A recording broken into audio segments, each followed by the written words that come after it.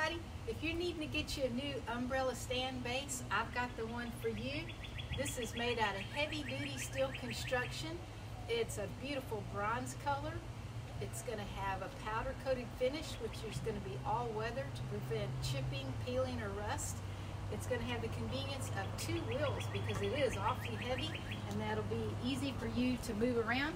So look at this pretty color. Let me bring you closer and show you all the details. Okay, so this is going to be a large 27 inch diameter. And you're gonna get two tubes here, so you don't have to worry about uh, the size of your umbrella. You're gonna get one that's gonna be an inch and a half dia uh, diameter, and this one's gonna be one and seven eighths. So if you end up getting a new umbrella that happens to be larger down the road, you'll uh, already have your little tube there. And as you can see these holes here, we've got our bolts that we're just going to attach it to the bottom side.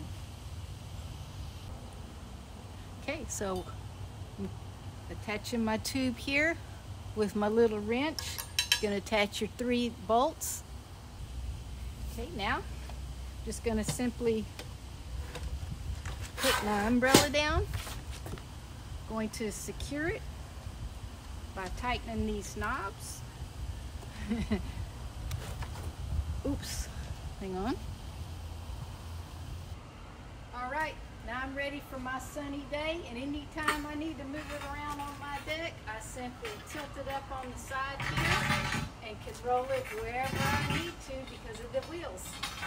So this is going to be great and convenient whether you want to wheel it out into the yard or if you want to put it and shade some plants on a hot day. So thumbs up for that one. Enjoy.